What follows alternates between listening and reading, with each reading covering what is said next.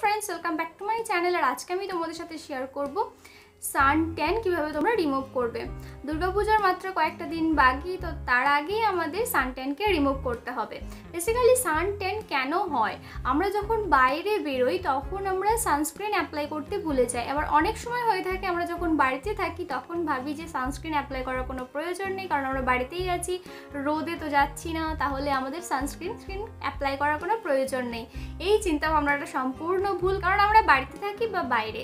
Sunscreen apply করাটা খুবই জরুরি। দুর্গাপূজার মাত্র কয়েকটা দিন বাকি, আর বাঙালির সব থেকে বড় উৎসব পুজোতে তো সাজুগুজু তো মাস্টই আর যদি আমাদের স্কিনে ট্যান পড়ে থাকে, তাহলে কিন্তু তোমার না মেকআপ করলে ভালো লাগবে, না সুন্দর করে সাজলে ভালো লাগবে। তো আমা- আমাদের ফার্স্টেই কী করতে হবে, স্কিনটাকে সুন্দর বানাতে হবে। এক সুস্থ, সবল স্কিনটাকে বানাতে হবে। তার জন্য আমাদের অনেকেরই এই রোদে সান ট্যান পড়ে যায়। তো ট্যানটাকে আগে আমাদের রিমুভ করতে হবে। তো ট্যানটা রিমুভ করার জন্য তোমাদের সাথে একটা শেয়ার করব ফেস প্যাক ফেস প্যাকটা অ্যাপ্লাই করে আমরা সান ট্যানটাকে রিমুভ করে ফেলব।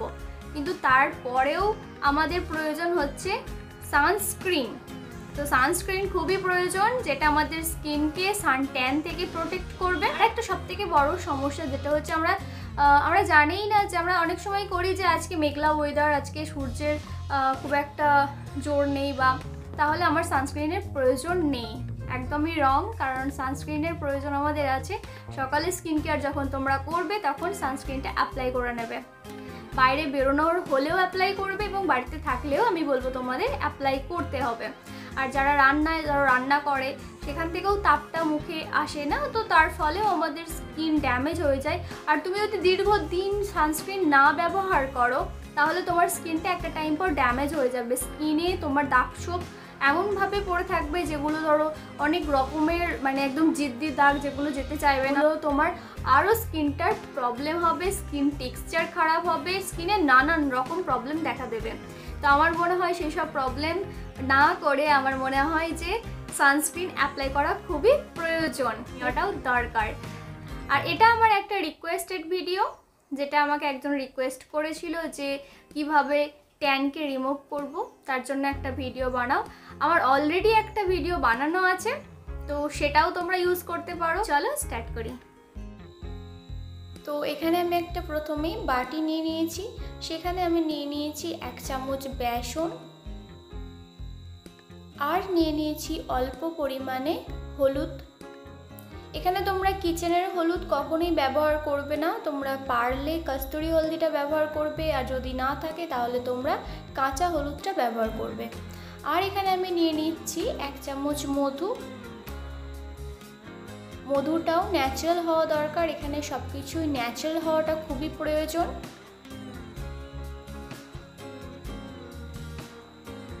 এরপর আমি নিয়ে নেব এক চামচ দই। এখানে দইয়ের পরিবর্তে দুধও নিতে পারো।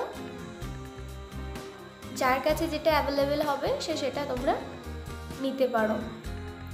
এরপর আমি এটাকে খুব ভালো করে মিক্স করে নেব। এরপর নিয়ে নেব হাফ লেমন বা লেবু। তো এখানে আমি লেবুর রসটাকে বার করে নেব। এখানে যখন লেবুর রসটা বার করবে, বীজ পড়তে পারে, তোমরা এটাকে সাইড করে দেবে। তো লেবুর রসও প্রায় এক চামচের কাছাকাছি। তো এবার এগুলোকে খুব ভালো করে মিক্স করে নেবে। আমি খুব ভালো করে এগুলোকে মিক্স করে নিয়েছি এবং একটা ফেস প্যাক বানিয়ে নিয়েছি। এরপর এই ফেস প্যাকটাকে আমি আমার সারা মুখে অ্যাপ্লাই করে নেব। ফেস প্যাকটা ঠিক ক্রিমি ক্রিমি টাইপের হয়েছে। তো আমি এটা পুরো ফেসে অ্যাপ্লাই করে নেব। যখনই ফেস প্যাক অ্যাপ্লাই করবে, তোমরা আমি আগেও বলেছি তোমাদের যে নিজে থেকে ওপরের ডাইরেকশানে অ্যাপ্লাই করবে। তো আমি এখানে নিয়ে নিয়েছি বেসন। বেসন আমাদের স্কিনকে পরিষ্কার করতে সাহায্য করে, খুব ভালো করে ক্লিন করে। এবং নিয়ে নিয়েছি হলুদ। হলুদ আমাদের স্কিনকে ব্রাইট করে। আর নিয়ে নিয়েছি মধু। মধুতে আছে ন্যাচারাল ব্লিচিং প্রপার্টিস থাকায় এটা আমাদের স্কিনকে ব্রাইট করতে হেল্প করে। আর নিয়ে নিয়েছি দই। দই আমাদের স্কিনকে লাইটেন করতে সাহায্য করে।